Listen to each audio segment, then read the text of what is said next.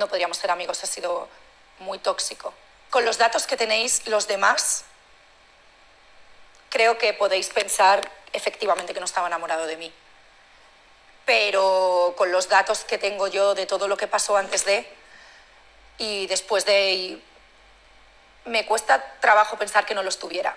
El hecho de que él vuelva a mi casa con todo lo que quiere a la hija, sabiendo que yo he puesto en jaque a la hija, eh, eso solo se puede hacer porque estés muy enganchado a una persona. Creo que la hija nunca aceptó que, que estuviese con su padre. Ella veneraba a Olga y creo que yo era pues lo contrario a Olga.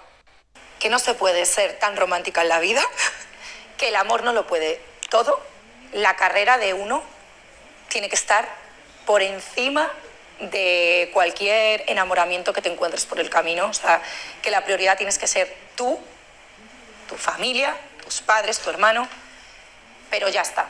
O sea, tienes que mirar por ti porque un día te despiertas, te han echado el trabajo, te han dejado.